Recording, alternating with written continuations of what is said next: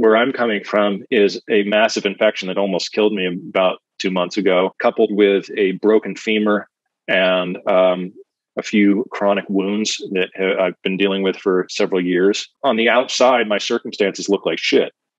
I wouldn't wish them upon my worst enemy. It sort of lends a little bit more more credence to how what I'm talking about does not require any circumstances to look any certain way. You can do this literally from being broken and healing in your own bed.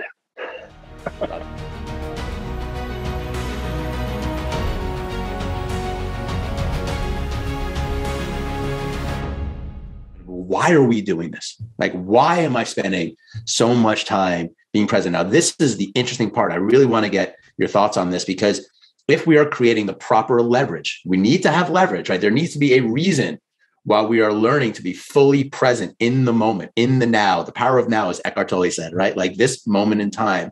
And that reason has to do with unfolding and experiencing the greatest possible future that we can have in terms of you know the real things that we care about right our life experiences our relationships having love having money in abundance having adventures having meaningful interactions like all these things that we share as humans is it is it okay to have those things that we want as levers for just being in the present moment right now there's a part of me that's still confused around it meaning like well no that's just kind of i can't really be present if i really want those things right? There's this kind of like fine dance between, well, okay, I'm going to be really present and I better get those things. I better get that money. Mm-hmm. I better get that new job. I better get that relationship and that yeah. love. How do you yeah. teach that to people? And how do you deal with the entanglement that happens with the desires to have things and have experiences and the wisdom of just being present? Yeah.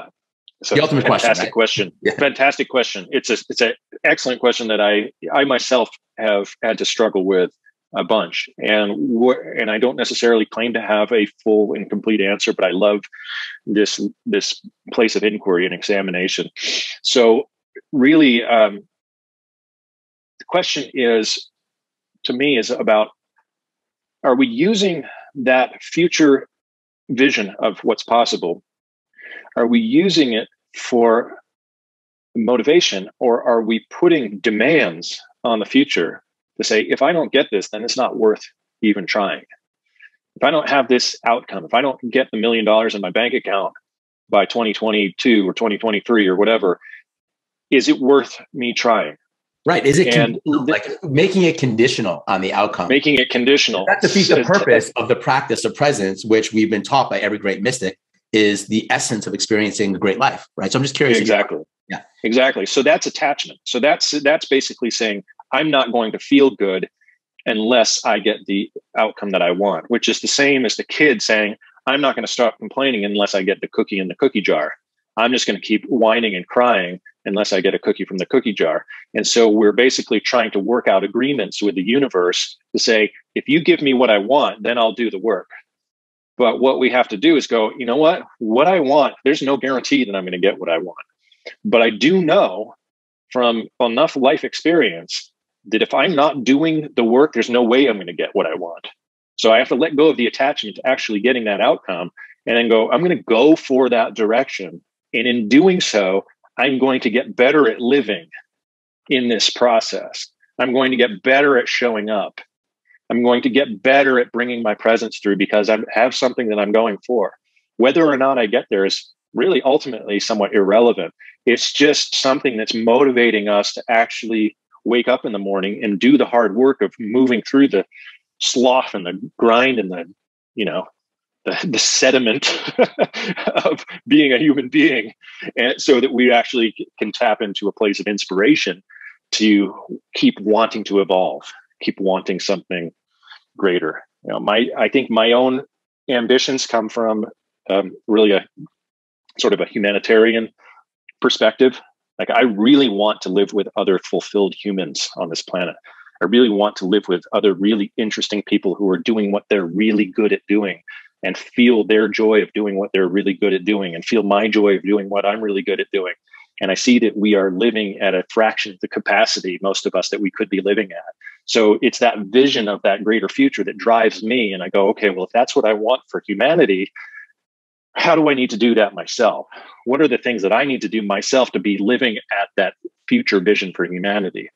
Beautiful. I, I love it. You know, the conversation just sparked so many different, you know, avenues. You know, the way that I've learned to deal with it is that yes, it's really beneficial to create an exciting future vision for yourself, right? Like, let's get really clear as much as we can. Let's do the work to visualize what this life could look like when it's freaking amazing, like optimal, like everything happens that you could dream of and more, right? And then you cut the attachment and you just do the work of being present. And I think a lot of it comes down to this notion of trust, this notion of surrender, right? Yeah. This kind of quality of trusting that there's a plan for this universe, for this unfolding that is beyond what we can cognitively or intellectually understand.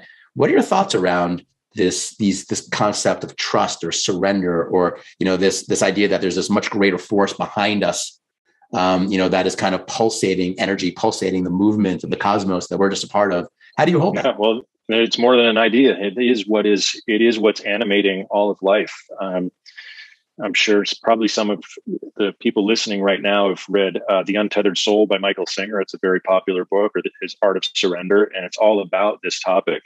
And you know, we have or we have the word surrender gets a bad rap in this culture because people either associate it with giving up, which true surrender is not giving up at all. It's letting go. It's going, oh, I, I there's this construct of my imagination that I'm used to thinking about myself through is not going to be adequate to be able to move me in the direction of a future vision. So I have to let go of all of that construct and actually surrender to this creative intelligence, however you want to call it, source, God, the universe, whatever it is. There's a movement of energy that is always present inside each one of us. And we have simply cut off our awareness to it.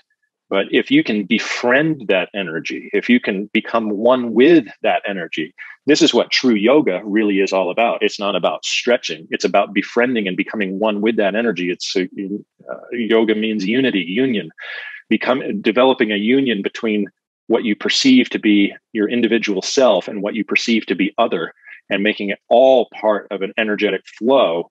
That to me that's my motivator because that feels really fun. That feels that can feel blissful at times to be in that space of really just I think most people only have a tiny fraction of the experience of how blissful life can really be when you really surrender into the energy that's already present deep down inside of you.